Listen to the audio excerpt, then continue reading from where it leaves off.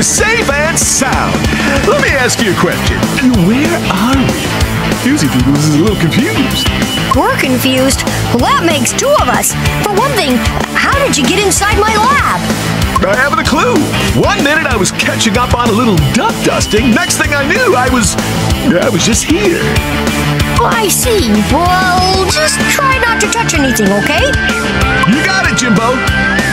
I feel better now that you're here. For a second there, I thought intense UV radiation was making me delusional. Oh boy.